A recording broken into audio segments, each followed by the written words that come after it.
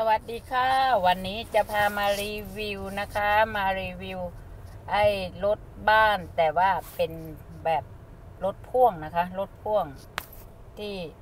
เอาไว้แคมปิ้งนะคะ ก็จะพาเข้าไปดูนะคะว่าเขาจัดสวยขนาดไหนค่ะ ก็จะเป็นคล้ายๆกับคอนเทนเนอร์นะคะ รถเป็นรถพ่วงค่ะ ก็เขาจะตกแต่งอย่างดีเลยนะคะ เข้ามาก็นี่ค่ะ เครื่องใช้เครื่องครัว มารถปิกนิกค่ะ นี่นะคะ ก็มีเตาไมโครเวฟมีทุกอย่าง ขึ้นมาก็เป็นที่รับแขกค่ะ ก็คือโซฟารับแขกนะคะ นี่เลยนะคะ ก็มีทีวีเล็ก ๆ อยู่อีกด้านหนึ่งก็ตู้ก็ทำแบบเรียบร้อยข้างในนะคะ อันนี้ก็ไฟนะคะ สวยงาม อันนี้ก็เป็นกระจกที่มองฟ้าได้นะคะ มองฟ้ามองฝนนี่ค่ะ สวยงามค่ะ นี่นะคะรถไอ้ คล้ายๆกับรถบ้านนะคะ แต่ตัวนี้เป็นรถพ่วงนะคะ นี่ค่ะ ก็มีโต๊ะกินข้าว ถ้าอากาศข้างนอกไม่ดีก็นั่งอยู่ข้างในก็มีเคาน์เตอร์ก็มีครัว อันนี้ก็เป็นที่เก็บของนะคะทำไว้เรียบร้อยมากนะคะ นี่ก็เป็นเตียงเป็นเตียงคู่เลยนะคะ แล้วก็มีอ่างล้างหน้า อันนี้ก็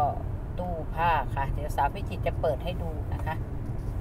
นี่ก็เป็นตู้ผ้าทำไว้อย่างดี นี่ก็เป็นตู้เย็นเดี๋ยวสาววิจิตรจะเปิดให้ดูก่อนตู้เย็น เปิดตู้เย็นก่อนนะคะ นี่ ก็เรียบร้อยเพียบอลังการนะคะ ตู้เย็น ก็เต็มเอียดนะคะ แล้วก็ตัวนี้ก็เป็นตู้ผ้านะคะ ตู้ผ้าเห็นไหมคะตู้ผ้าอีกด้านนึงก็เปิดได้นะคะ ก็ก็รีวิวให้ดูสวยงามอลังการนะคะนี่นะคะพี่น้องค่ะฝรั่ง เขาจะแมนมีชีวิตดีเลิศมันเปิดเสิร์ชสีนะคะ อันนี้ก็เป็นตู้ที่ไว้ไว้เก็บของเก็บเครื่องไม้เครื่องมือในการเอาไว้ทำไฟทำอะไรสารพัดนี่ก็เป็นที่เก็บเสื้อผ้านี่ก็เป็นห้องน้ำนะคะ ห้องน้ำเล็กๆ เห็นไหมคะ นี่ก็ห้องน้ำเล็กๆ จัดได้สวยงามมากนะคะ ห้องน้ำนี่ค่ะนี่ห้องน้ำ แต่ว่าถังส้วมหรือถังห้องน้ำนี่ก็เราก็ต้องเอาออกไปทิ้งเองนะคะ มันจะอยู่ด้านนอกของด้านใต้ของทางรถนะคะ นี่ก็เป็นพวกเก็บผ้ามังผ้าห่มนะคะ นี่สวยงามมากนะคะ เขาดีไซน์ได้สวยมาก อันนี้จะเป็นเจ้าของทั้ง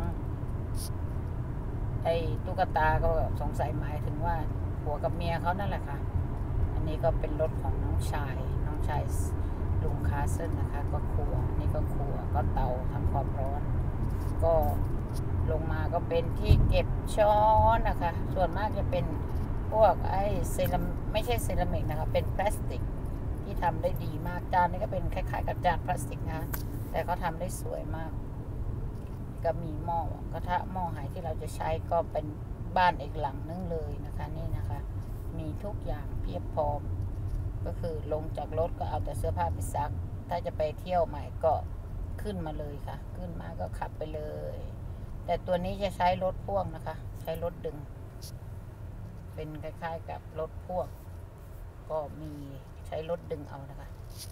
นี่นะคะก็ออกมาเขาก็จะทำเป็นเต็นท์ข้างนอกก็โต๊ะกินข้าว วันนี้เขามีแขกค่ะ ก็สาวพิจิตรกับสามีแล้วก็น้องก็มากินข้าวด้วยกัน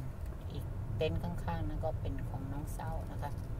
ก็นี่แหละค่ะ สาวพิจิตรก็เอา ของเล็กๆน้อยๆมาฝากนะคะนี่ถังขยะก็ห้อยไว้ที่ประตูสะดวกมากค่ะ ก็ถังขยะนั่นก็ถังขยะนี่ก็ถังเก็บของพอเก้าอี้เวลาเราจะเก็บเราก็เก็บพับเข้าตู้รถแล้วก็ทุกอย่างก็เอาเข้ารถหมดเลยค่ะด้านข้างหลังก็จะเป็นที่เก็บตู้ในี่ก็ค่ะพี่น้องป้องปายขาสาวพิจิตรคนงามก็ต้องบอกว่า ขอขอบคุณทุก ท่านนะคะที่เข้ามาติดตามกดไลค์กดแชร์ กด subscribe ให้สาวพิจิตรนะเด้อจ้า คลิปนี้ก็ได้วิวสวยๆ ของแคมปิ้งก็อยู่ดีมีแห้งสุขุสุขคนเด้อค่ะบายบายจ้า